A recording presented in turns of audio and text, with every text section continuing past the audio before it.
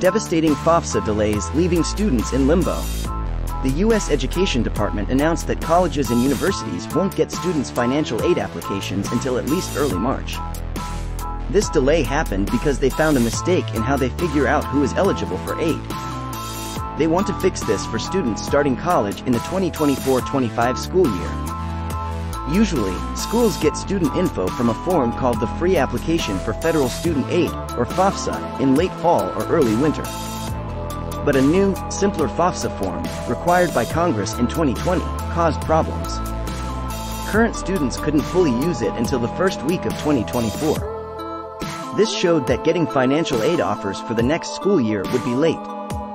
Later, the department said it didn't update the tables used to decide families' eligibility based on inflation. These problems led to the recent announcement. Justin Draeger, from the National Association of Student Financial Aid Administrators, said schools were told at the last minute that they wouldn't get student info until March. He worries this will harm students and families who need help.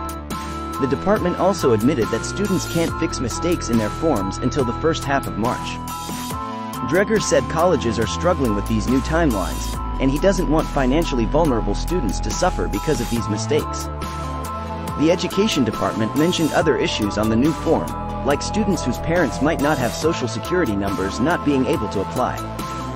The department said 3.1 million FAFSA forms have been submitted since the new form started.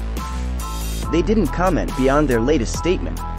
Secretary of Education, James Kvaal, said they're updating things to make it easier for families to get help for college expenses and to help more students get aid.